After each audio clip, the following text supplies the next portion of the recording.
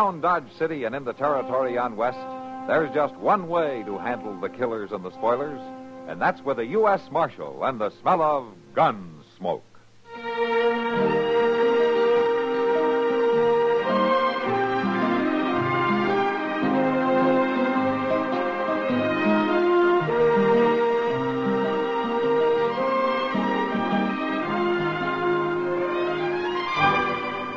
Gunsmoke, starring William Conrad.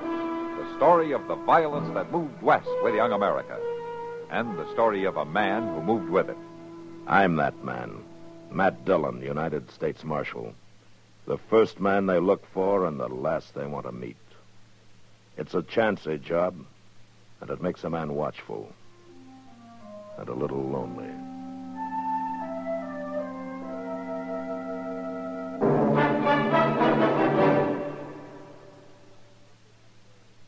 This is Frank Knight speaking for the world's most honored watch, Longines. When the West was being won, Longines was there.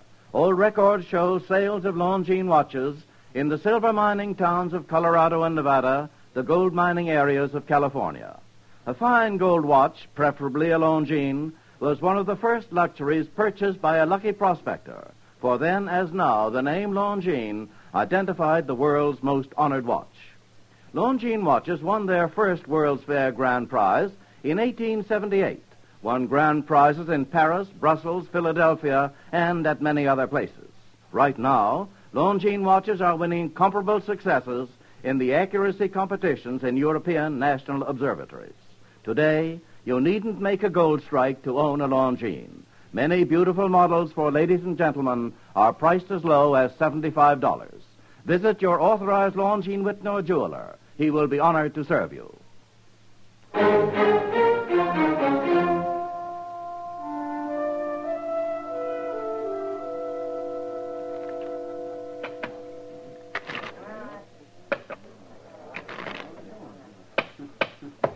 All right, cut the cards. There. All right, get it up, young fella. Get your money on the table. Uh, look, mister. Ah, I, uh, you're holding up that game. You want cards or don't you? Yes, I want them. Well, let's see your money. Well, there. Hey, what's that thing? It's a solid gold fob. Yeah, it don't look like much to me. What do you think, Joe? Let me see it. Hmm. I don't know, Stoll. You don't seem like a young drifter like him would have no gold. It's gold, all right. Why don't you ask somebody who knows? This ain't no assay office. Go on, kid. You get some money, we'll deal you a hand. Now, wait a minute. G- Ask her. Uh, Kitty? Well, she'd know. Ask her. Uh, I guess she'd know about gold, all right. hey, Kitty, come here a minute, will you? Sure, Stoll. What's on your mind? Hey, look at this thing, will you, Kitty? Hmm. It's a watch fob. Yeah, but, uh, is it gold? Feels like gold to me. Who says it isn't? What'd I tell you? Shut up. The kid wants to use it for a poker stick, Kitty. Just wanted to be sure it was worth something. Well, it's probably worth too much to be lost in a poker game. There, I told you. Come on, Stoll. Deal up the cards. Ah, I'm gonna. I'm beginning to feel lucky all at once. Mr.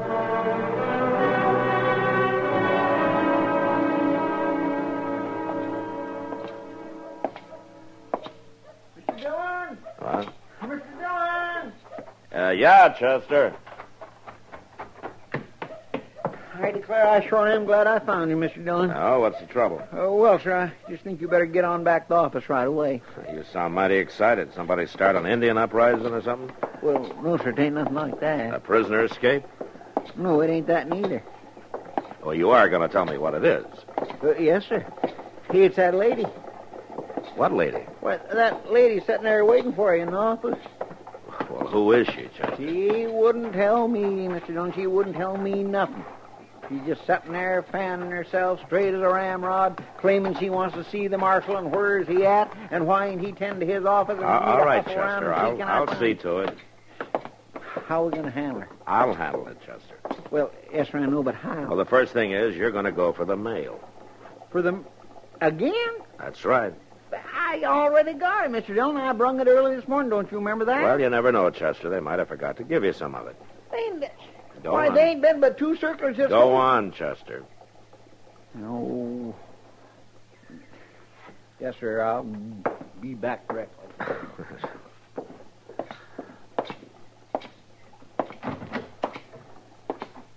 Ah, good morning, ma'am. Yes, uh, are you the marshal? Ah, yes, ma'am. Matt Dillon. What can I do for you? Well, for one thing, young man, you can be here when you're needed. I do not think this is the proper way to run a United States Marshal's office, even in this forsaken country. Well, even United States Marshals have to eat sometimes, ma'am. That's so. Yes, now, do you know who I am? No, ma'am, I don't. Is there any reason why I should? Most people do. I am Mrs. Junius Chamberlain. My husband was the late Senator Chamberlain. Well, I'm glad to meet you, Miss Chamberlain. I require your assistance. Oh, how's that? I have come to Dodge City in search of my grandson. I want you to find him. Well, maybe you better tell me a little more about it, Miss Chamberlain. Has he done anything? Done anything? What do you mean, has he done anything? I mean, is he wanted? Why, of course he's wanted. That's what I'm telling you. I want him to come home and forget this nonsense about the West. He is wanted back at Yale College, where he belongs. Oh, I guess we're talking about different things, ma'am. What I want to know is, has he broken the law? Certainly not. Chamberlains don't break the law, Marshal Dillon. And Junius is a Chamberlain. Junius Chamberlain the Third. Uh, well, uh, I don't think you need a U.S. Marshal, ma'am. What do you mean? Well, if your grandson hasn't broken the law. You often find people, do you not? Ah, yes, ma'am, I you do. have but- men and horses at your disposal. You have the authority to organize a search party. Oh, I have the authority, well, I want you to use it. I want you to organize a search at once. Miss Chamberlain. I want you to find my grandson. I see no need to say more. Well, there's a need for me to say more. I can't organize the kind of a search that you're talking about. Why? Why not? You are the marshal, are you not? I'm the marshal, all right, ma'am, and you may find it hard to believe, but my job has a lot more to it than riding off after a boy wanted by Yale College. Why, how dare you? Now, the marshal's office can't close down to look for ever stray, Miss Chamberlain. I have great influence in Washington. Well, it's too bad, ma'am, that you don't have more influence with your grandson. You r- refuse to help me then. I'll keep an eye out for him, and I'll let you know if I hear anything about him, but that's about the best I can do. I believe I have a right to expect more, Marshal Dillon. I'm sorry, Miss Chamberlain. I, I wouldn't worry too much. He'll probably turn up in Dodge one of these days, and I'll see if I can't send him home to you. That won't be necessary, Marshal. I intend to stay here until I find him. And I'll take him home myself.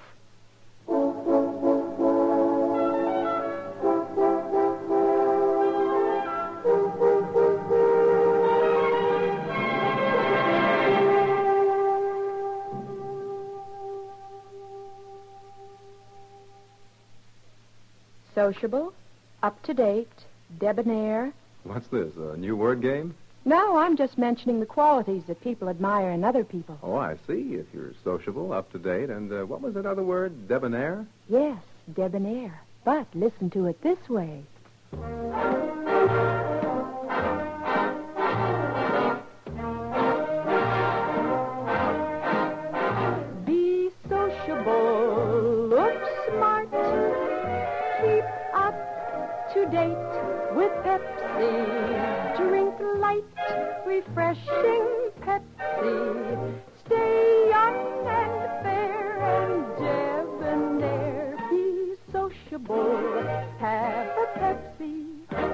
Notice how many of your friends are serving Pepsi Cola these days. It's the up to date refreshment. Be sociable, serve Pepsi.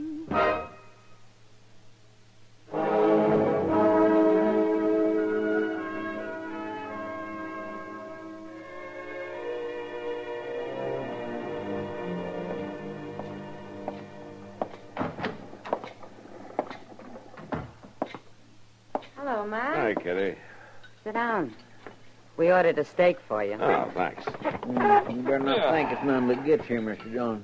They sure have been offering some terrible stringy steak round this place. Oh, I don't think you'll be too particular about the food, Chester. Just so he gets a chance to eat in peace. From what I hear, he's lucky to sneak in here without being caught by that woman who's causing him so much trouble. You two think it's all pretty funny, don't you? well, now, Matt, there's two ways of looking at it. You take Mrs. Chamberlain now. I've never met her, but I hear she's a strong, good woman doing what she thinks is right. All over town. Well, you'll have to admit, Matt. Picture of an old lady going around like a Pinkerton man's pretty funny. Yeah. Well, I'll feel more like laughing after she moves on out of Dodge. I'll bet you will. Some of the men down at the Long Branch say she's not being too complimentary to you. Kind of talks as though she's doing your job for you, looking for that boy. Yeah, well, Uh, Mr. Dillon, there's one thing about this all that I just don't understand. but you are laughing, though, aren't you, Chester? Well, yes, sir, I was laughing all right, but, But what? well, it's just that I never heard of this place that feller escaped from. What what place? What are you talking about? Why, that that Yale, uh, the place that lady says he broke loose from, uh, what is that place, Mr. Dillon? Some kind of a stockade or such like? Well, it'd seem like a stockade to you, Chester. Now, will you go ahead and eat and let Miss Chamberlain do the worrying about Yale?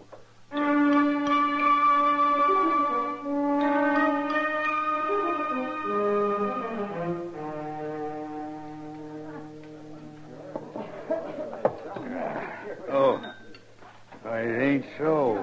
What ain't so? Turn around and look. Hmm? I swear there was an old lady over there standing in the doorway, big as life. Yeah. Good glory. She's coming on like stern wheeler.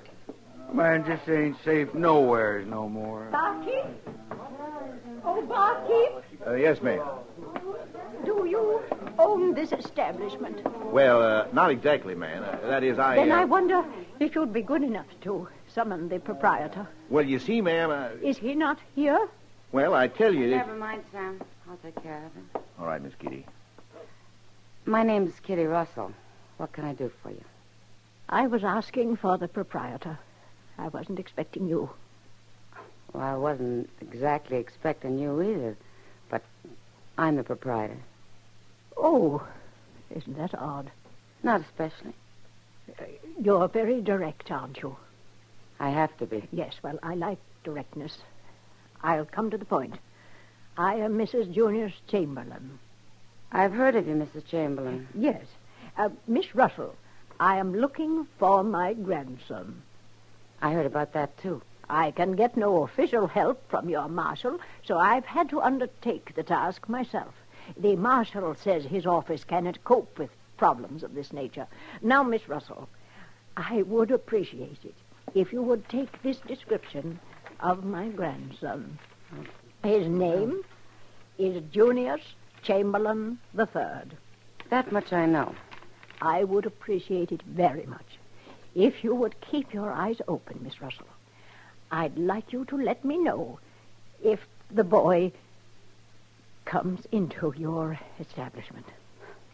Well, eyes open or not, Mrs. Chamberlain, I very well might not see him. You'd see him. Junius is a gentleman. I'll be staying at the Dodge House. Uh, g- good day, Miss Russell. Good day.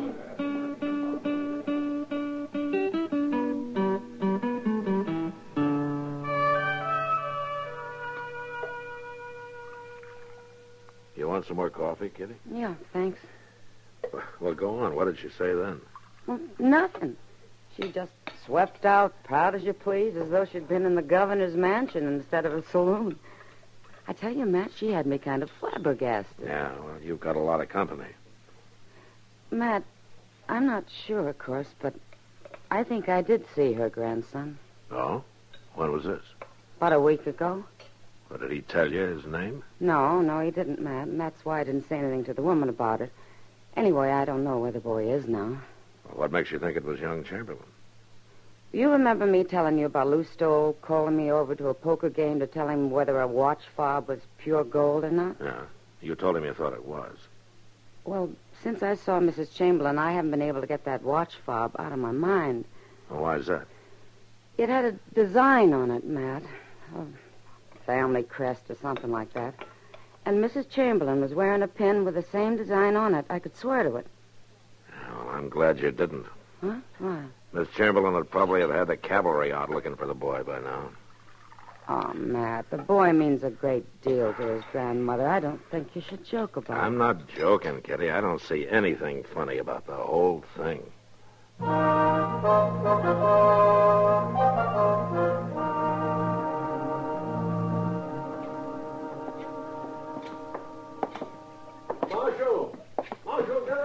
Dillon! I don't know what in the world got into Mr. Botkin. I don't know, but he seems mighty upset about something. Yeah, maybe his bank got robbed or something. Marshal, you've got to come quick. What is it, Mr. Botkin? What's wrong? I just got robbed, is what's wrong. What? One of the men got hit. He's lying there in the street. Come on, Chester. Who shot him? I did. I had to shoot him. There were two of them. They were holding up the bank. Oh, where's the other one? He got away. Rode right out of town. All right, uh, will you stand aside, please? Please, will you stand aside? Let me in, please. Will you let me in there?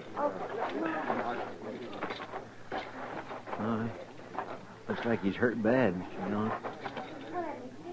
Yeah. That's what happened now. Like I say, there were two of them. Came into the bank. Guns drawn, demanded the money. I, I shot at them. I I don't think I hit the other one. You sure didn't miss this one. I mean, he, he's dead? No, not yet. You know who he is? No, Marshal. I never saw him before. You recognize him, Chester? No, sir, I don't. There's one peculiar thing, though, Mr. Dillon. Oh, what's that? Now, look at there. Hanging from his gun belt. Huh? Oh, yeah. I never seen no gunman wearing a watch fob there before, have you? He may not be an ordinary gunman, Chester. Now, come on, let's get him up to Doc.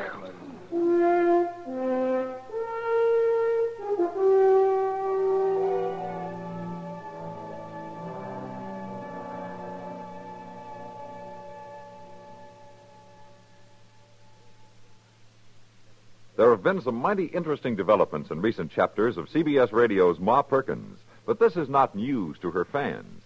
The story of Rushville Center's favorite citizen, her relatives and friends, has captured the attention of listeners across the nation for many years.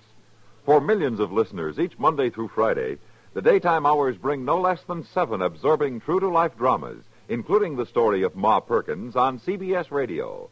Besides Ma, you can enjoy such longtime favorites as The Romance of Helen Trent, Young Dr. Malone, The Right to Happiness, The Couple Next Door, Whispering Streets, and The Second Mrs. Burton. There are good habits and bad, but one that recommends itself highly is that of listening while you work. Listening to this winning seven combination for daytime drama each Monday through Friday. Work won't evaporate like magic, but it will go along at a higher momentum when keeping company with CBS Radio's winning seven combination of entertaining serial dramas. Exclusively yours on this station in your area.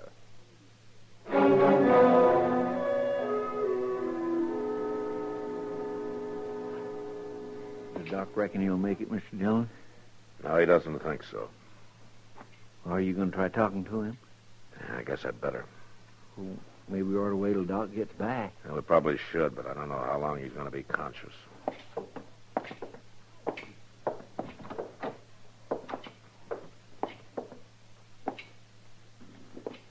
Chamberlain? Chamberlain, can you hear me? What? I'm Marshal Dillon. I'd like to ask you a couple of questions. What? What did you call me? Chamberlain, isn't that your name? I ain't got nothing to do with that name, Marshal. There's no need to hide anything now. May be dying, but I ain't afeared. Anybody by the name of Chamberlain, he, he's afeared. He's yellow livered. How did you get this watch fob? I won it off him. I won it fair, Marshal. And I wore it for luck. He'd run off and let me get shot. Some luck. You mean Chamberlain was with you in the bank? Yeah, he was with me. He wouldn't stand and fight. He ran. He. Just tell me one thing. Where did Chamberlain go? The old Boone place. That's where we hid out. you get him, Marshal. Get him from me. Yeah.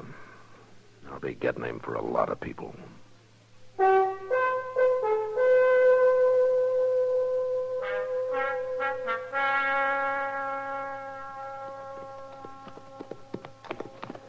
Mr. Dillon, Yeah, Chester. don't you think it's an awful mean day to go out hunting a man? They're all mean, Chester. Well, I know that, but if it was nice and cool and pretty. If it was nice and cool and pretty, you wouldn't want to be working at all. Now, will you quit complaining? Well, I ain't complaining. Well, I'm glad to hear that. I'm not in any frame of mind to listen to you. Hey, Mr. Dillon, ain't it kind of funny that nobody ain't found out who that dead gunman is yet? He was much more interested in telling me who he wasn't than who he was. No wonder why. He didn't want to be mistaken for a Chamberlain. Now, there's the Boone place. Hmm. Come on. We'll ride right up to the house, Chester. You cover me as I go in. I don't think there's going to be any trouble. All right, sir. All right, you stay with the horses.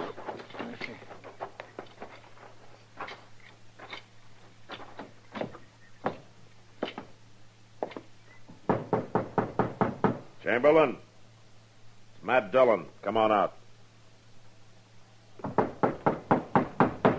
Come on out. Or I'll come in after you right now. Don't shoot, Marshal. Don't you? All right, come on out then.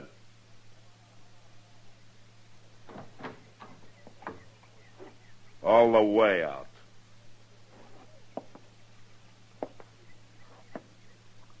I, uh, I don't know what you want me for, Marshal. Where's your gun?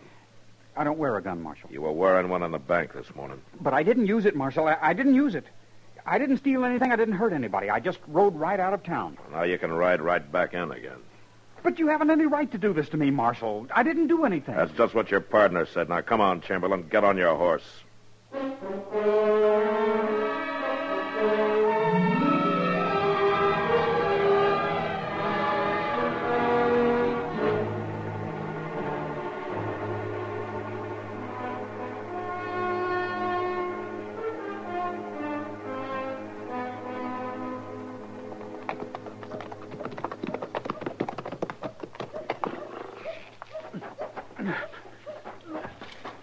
Take him in, Chester. All right, sir. Uh, will I put up the horses now? No, not yet. I want you to go over to the Dodge house for me and get Miss Chamberlain. My grandmother? Here in Dodge? You want me to bring her over to the jail? That's what I said, Chester. Right to the jail. All right. Come on, Chamberlain.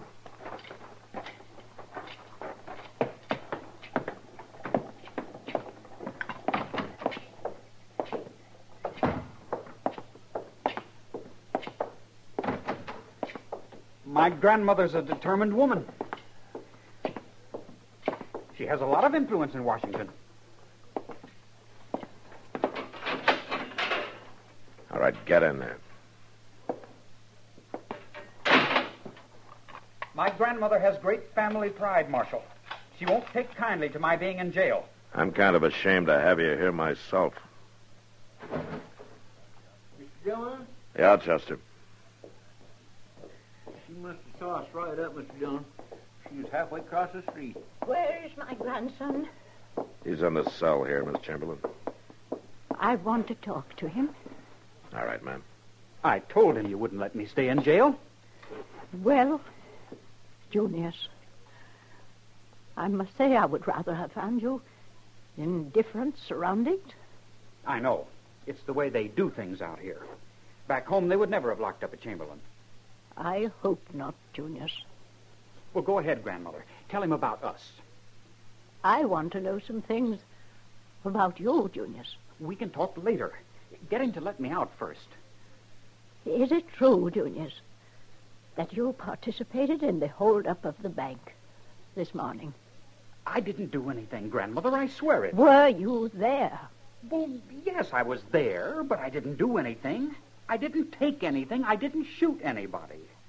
But you threatened to. It was just a prank. Nothing more than a prank. And when there was trouble, you turned and ran. Why, of course I ran. I didn't want to get involved. And you left your your partner in crime to bleed and die alone. But I was thinking of the family. I was thinking of the Chamberlain name. The Chamberlain name has never been worn by cowards, Junius. But, Grandmother. Right or wrong, we don't run. Marshal Dillon, Yes, ma'am. could your man help me back to the hotel? I'm a little tired. I'll go with you, Miss Chamberlain. You, you can't leave me here. You've got to help me. I can't help you, Junius. I pray it's not too late for you to help yourself. Marshal Dillon?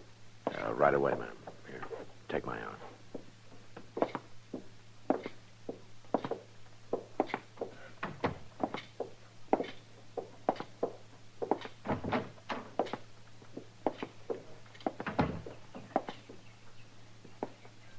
Marshal, will will they be severe with him? Well, he'll have a sentence to serve, ma'am. But as he said, he didn't really hurt anybody. Except you.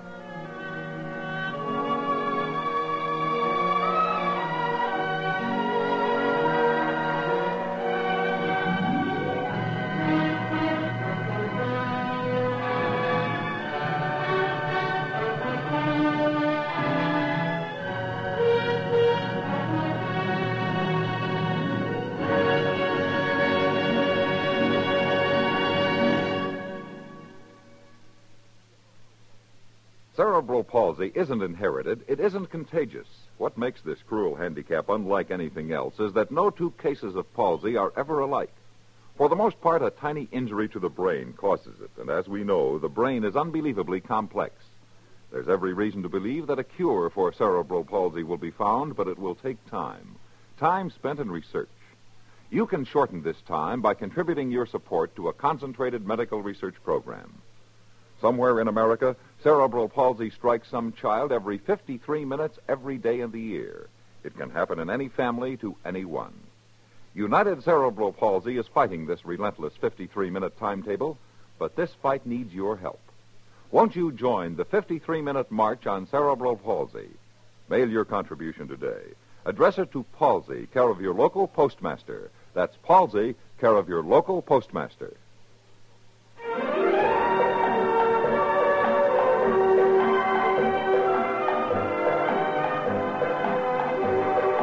Gunsmoke. Produced and directed by Norman Macdonnell, stars William Conrad as Matt Dillon, U.S. Marshal. The story was specially written for Gunsmoke by Marian Clark, with editorial supervision by John Meston. Featured in the cast were Jeanette Nolan, Sam Edwards, Joseph Kearns, Vic Perrin, and Jess Kirkpatrick. Parley Baer is Chester, and Georgia Ellis is Kitty. This is George Walsh inviting you to join us again next week for another story on Gunsmoke.